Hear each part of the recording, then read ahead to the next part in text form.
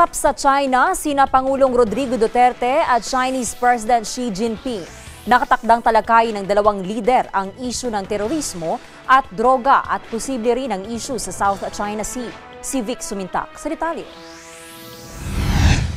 Masesentro sa paglaban sa terorismo at pagsugpo sa cross-border narcotics trade ang pag-uusapan ni na Pangulong Rodrigo Duterte at Chinese President Xi Jinping sa Hainan Province sa China.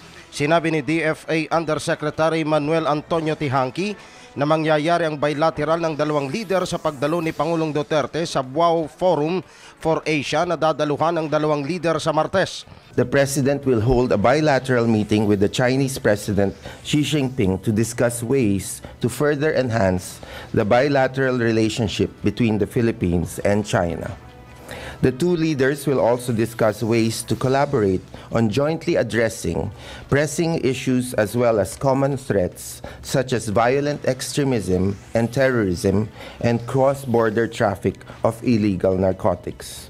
Ayon kay Tihanki na may maliit na tsansa din na mapag-usapan ng dalawang leader ang isyo sa South China Sea.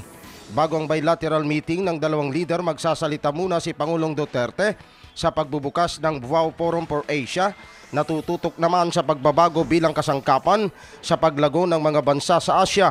Aalis ang Pangulo patungong China sa lunes para sa Buao Forum sa kadadaan sa Hong Kong para makapulong naman ang mga OFWs doon at alamin ang kanilang sitwasyon. Vic Somintak, Eagle News, I am 125.